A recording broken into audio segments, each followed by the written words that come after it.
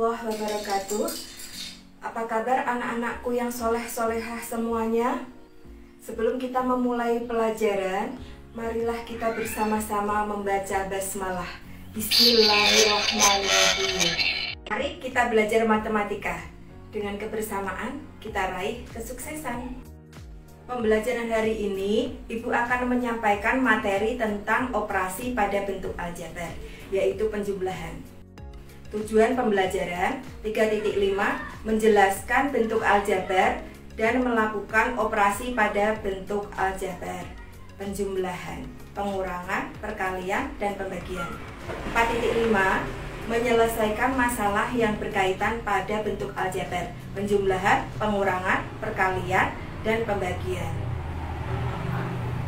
Kenal bentuk-bentuk aljabar.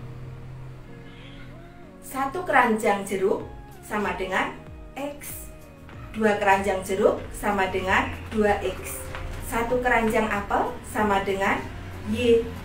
Dua keranjang jeruk ditambah satu keranjang apel sama dengan 2X ditambah Y. 2 semangka sama dengan 2 2 keranjang jeruk ditambah 2 keranjang apel ditambah 3 semangka sama dengan 2x plus 2y ditambah 3 penjumlahan aljabar. 2 keranjang jeruk ditambah 1 keranjang apel sama dengan 2x ditambah y. 3 keranjang jeruk ditambah 2 keranjang apel sama dengan 3x plus 2y Nah, ini kita kelompokkan berdasarkan suku yang sejenis. 2 keranjang jeruk ditambah 3 keranjang jeruk sama dengan 5 keranjang jeruk.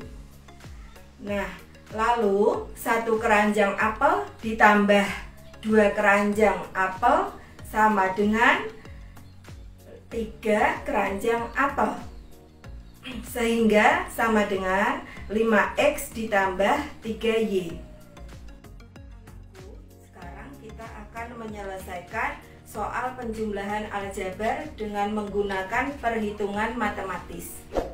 2x ditambah y ditambah dalam kurung 3x ditambah 2y dan tutup kurung sama dengan 2x ditambah y ditambah 3x ditambah 2y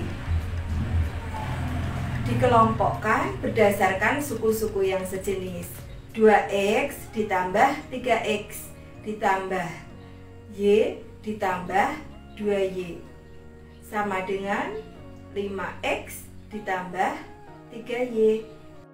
Agar lebih paham, kita amati permasalahan berikut. Ujang memiliki 15 kelereng merah dan 9 kelereng putih. Selanjutnya, Ujang diberikan kakaknya 7 kelereng merah dan 7 kelereng, 3 kelereng putih. Berapakah jumlah kelereng merah dan kelereng putih? Nyatakan dalam bentuk aljabar. Untuk memudahkannya, kita memiliki alternatif penyelesaian. Kita buat permisalan. Satu kelereng merah itu sama dengan P, satu kelereng putih itu sama dengan Q. Ujang memiliki 15 kelereng merah dan 9 kelereng putih. Sama dengan 15P ditambah 9Q.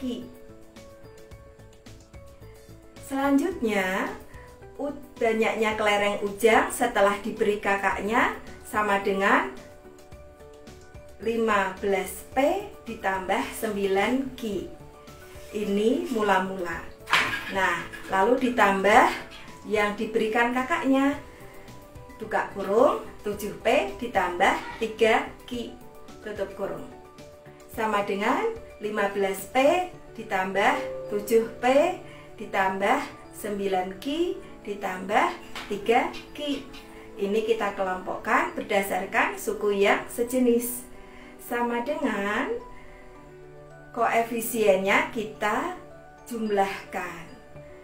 Yaitu 15 ditambah 7P lalu ditambah buka kurung 9 ditambah 3 Ki sama dengan 22P ditambah 12 Ki jadi jumlah kelereng merah ada 22 dan kelereng putih ada 12 sekarang kita ambil kesimpulan bahwa langkah-langkah untuk menjumlahkan bentuk aljabar yaitu pertama kita menjabarkan.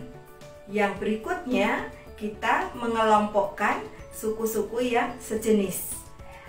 Setelah itu kita operasikan suku-suku yang sejenis tersebut. Dan yang terakhir kita sederhanakan demikian materi yang ibu sampaikan kita sempurnakan dengan hamdalah. Alhamdulillahirabbil alamin. Selamat belajar, semoga tetap sehat dan semangat. Syukur alhamdulillah saya senang sekali berbagi dengan Bapak Ibu guru hebat dalam PJJ pembuatan video pembelajaran dengan Filmora. Terima kasih kepada fasilitator dan master trainer EduTech Madrasah Semoga EduTech Madrasah sukses dan selalu membawa inspirasi kepada bangsa Indonesia. Amin, amin ya Rabbal 'Alamin. Wassalamualaikum warahmatullahi wabarakatuh.